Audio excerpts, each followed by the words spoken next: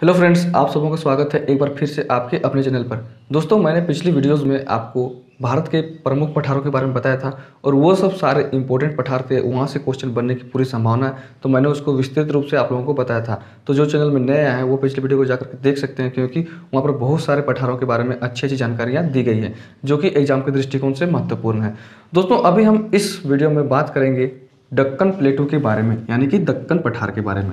और यह भी बहुत ज़्यादा इंपॉर्टेंट है, क्योंकि यह जो दक्कन पठार है, वह भारत के अधिकतर हिस्सों में फैला हुआ है। आप लोग यहाँ पर मैप में भी देख सकते हैं मैप भी बनाया हुआ है। ये जो बनाया हुआ मैप है, वही है हमारा दक्कन पठार या दक्कन प्लेटू। ये आप लोग देख सकते हैं कि कितना बड़ा एरिया में यह फैला हुआ है। दोस्तों, दक्कन पठार का जो निर्माण हुआ है, वह चट्टानों से हुआ है। आइए देखते हैं दक्कन पठार के बारे में पूरी जानकारी को। तो दक्कन पठार जो है, वो भारत का विशालतम पठार है। आप लोग यहाँ पर मैप में देख ही रहे हैं। इसकी आकृति त्रिभुजाकार है। आप लोग यहाँ पे देख रहे हैं, यह तीन तरफ़ से घिरा हुआ है। इसी कारण से इसकी जो आकृति है वह त्रिभुजाकार है। तो यह इंपॉर्टेंट है आप लोगों के लिए। हो सकता है क्वेश्चन पूछ लिया जाए कि दक्कन पठार की आकृति कैसी है? तो आप लोग इसका उत्तर करेंगे, त्रिभुजाकार आकृति।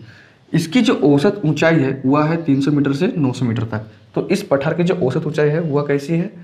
तो वह है 900 मीटर तक, यानी कि 300 मीटर से 900 मीटर ऊँची इसकी औसत ऊंचाई है। साथ साथ में इसका जो ढलान है, वो किस प्रकार है? तो इसका ढलान जो है वह पश्चिम से पूर्व की ओर है। इसी कारण से पश्चिमी घाट से निकलने वाली जो नदियाँ हैं, वो पूर्वी घाट की ओर बहती हुई बंगाल की खाड़ी में मिल जाती है। यानी कि इसका ढलान पश्चिम की ओर ऊँचा है और पूर्व की ओर थोड़ा सा कम है। इसी कारण से इधर से नदियाँ बहती हुई इधर की ओर गिर जाती है।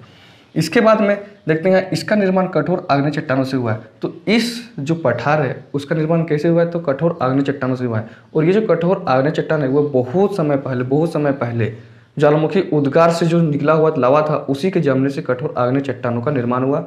और फिर इसी आग्नेय चट्टान बहुत समय तक इसमें अपर्दन लगातार होता गया होता गया।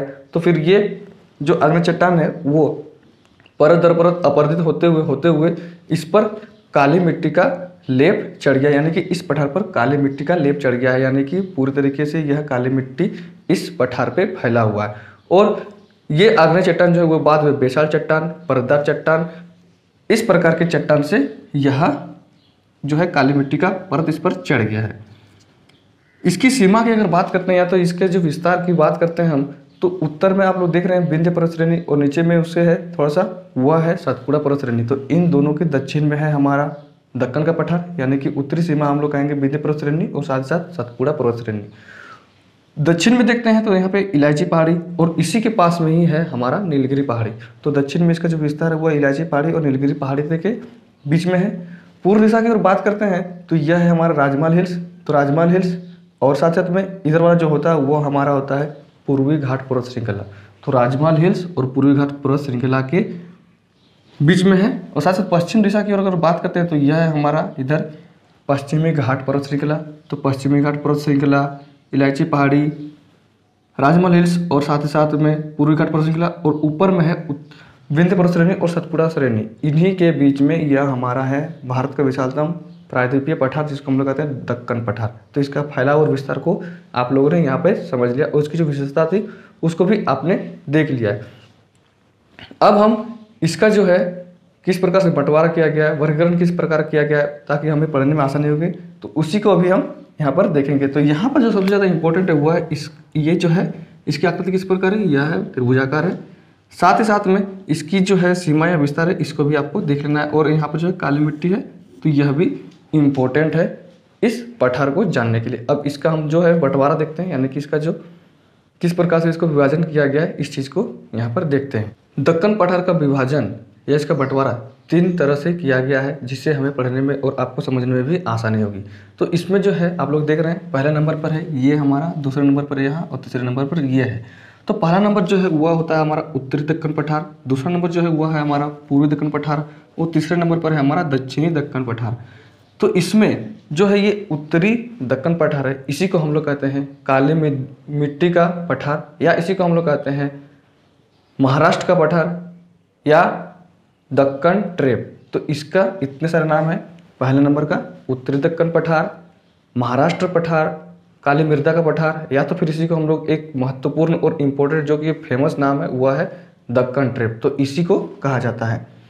दूसरे नंबर पर जो है, यह हमारा पूर्वी दक्कन पठार। तो इसी में आपको देखने मिल जाएगा छोटा नागपुर का पठार, दंडकारण्य, वस्त्र का पठार और बघलखंड का पठार। इसी हमारे दामोदर और महानदी वाले इलाका वाला जो पठार है, उसी में मिलेगा। और साथ साथ यह जो तीसरे नंबर पर है, यह है हमारा दक्षिणी दक्कन पठार। और इसमें आपको मिलेगा पढ़ने के लिए कर्नाटक या मैसूर का पठार। साथ ही साथ आलंगा, तेलंगाना, आंध्र प्रदेश का पठार, इसी तीसरे नंबर वाले पठार पर है। तो इसको हम लोग यहाँ पे देख लेते हैं। तो उत्तरी दक्कन पठार को हम लोग कहते हैं महाराष्ट्र, पठार या इसी को कहते हैं हम लोग। काली मिट्टी का पठार, काली मिट्टी का पठार। और इसी का एक और फ़ेमस सबसे ज़्यादा नाम है, हुआ है दक्कन ट्रेप। ये आपको ध्यान रखना है। और इसमें हम पढ़ेंगे पूर्व दक्कन पठार में। पहले नंबर पर है छोटा नागपुर पठार। छोटा नागपुर पठार। और दूसरे नंबर पर हम लोग देखेंगे बस्तर दंडकारण्य पठार। पठार और ये जो है हमारा दक्षिणी दक्कन पठार, इसमें हम देखेंगे कर्नाटक मैसूर, पठार और साथ साथ को हम लोग देखेंगे। इसमें आंध्र, तेलंगाना, पठार। तो यहाँ से भी क्वेश्चंस लगातार पूछे जाते हैं। तो इसी कारण से हम लोग इसको एक एक करके सारे जो पठार है, इन तीनों में से उनको अभी देखेंगे और जानेंगे। तो दोस्तों, अगर आप लोगों को वीडियो पसंद आए तो आप लोग लाइक कमेंट और शेयर ज़रूर ज़रूर करें, क्योंकि इस प्रकार के वीडियो आपको क्वेश्चंस में मार्क्स ज़रूर दिलाएँगे। थैंक यू दोस्तों।